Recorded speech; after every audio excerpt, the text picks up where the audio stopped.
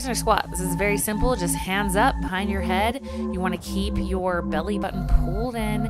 And again, just like every squat, you want to get your sh- feet about shoulder width apart, maybe a little wider, toes pointed out so that you can really drive through your heels coming back to standing. And really think about torquing your feet outward against the floor, screwing them outward to activate your quads, your glutes, your hamstrings, everything.